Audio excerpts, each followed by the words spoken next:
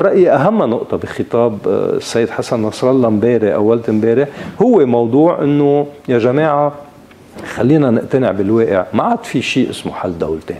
يعني نحن فايتين على هون بقول لك فايتين على صراع من نوع آخر. يعني الصراع مثل ما عرفناه نحن اليوم كان صراع تفاوضي على طريقة ما لإدارة الصراع العربي الإسرائيلي، اليوم عم نفوت بمحل بمحل ثاني وهون اختيار السنوار له علاقه له له أهمية، إنه هذا الموضوع تسكر، فتنا اليوم بصراع ربما على الأقل لهلأ ما له حل، يعني بين إرادتين شاملتين لفرض واقع كلي على الآخر. يعني دولة إسرائيلية بدون دولة فلسطينية دولة إسرائيلية بلا فلسطينيين. طبعا بدون فلسطين وموقف ممانع مسنود من إيران وإلى آخره إنه ما عاد في تعايش ممكن مع إسرائيل. وهون بذكرك أستاذ آدم إنه إسماعيل هنية بالصدفة بركي بس كان من الأوائل من شهرين ونص بعتقد بأنقرة فتح موضوع إمكانية اعتراف حماس بالدولة حصل اللغط بإسرائيل وبالدولتين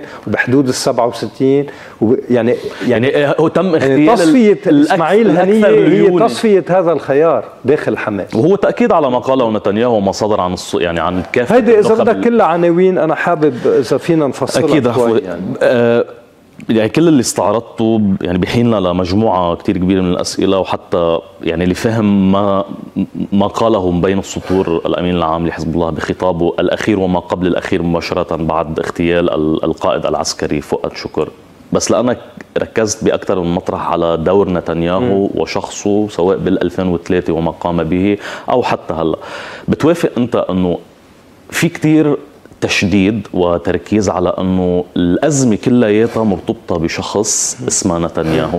بينما في هناك كثيرين ما يعتبرون أنه التركيز على معضلة الشخص أو أهمية الشخص هي مبالغة.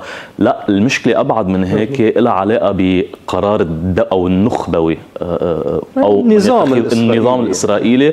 وما يعتبره على أنه حرب وجوديه واستقلال ال deep state ال deep state نتنياهو هو المشكلة برأيك وهو من يهرب الأمام ولا ال deep state سؤال سؤال مهم. أنا بعتقد ما في تناقض بين اثنين. يعني ما في تناقض. هلأ مساقبة يعني إذا بدك بنفس الوقت نتنياهو اليوم عم يعمل حرب جزء منه وهيدا موضوع معروف صار يعني حتى عند الأمريكان جزء منه له علاقة بمستقبله الشخصي السياسي والشخصي مستقبله الجنائي وإلى آخره. هيدا شيء.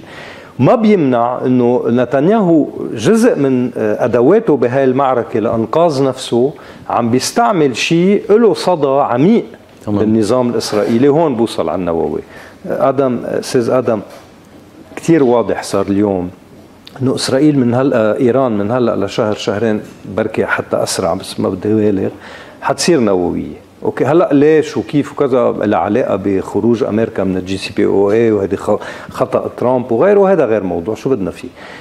إيران اليوم رح تصير نووية. يعني اليوم إسرائيل اللي عم تعمله ونتنياهو اللي عم بيعملوا باسم إسرائيل. وهون عم بيربح نتنياهو لأنه بكرة بيقول للإسرائيلية okay أنا عندكم مشكلة معي. أنا زلمة عملت موبقات بالداخل وكذا وبدكم تقلبوني بس أنا اليوم الوحيد اللي حاطط بنصب عيني أنا اليوم إنه هيدي الإيران اللي رح تصير نووية أنا بدي أجرب أتخلص من خطرها.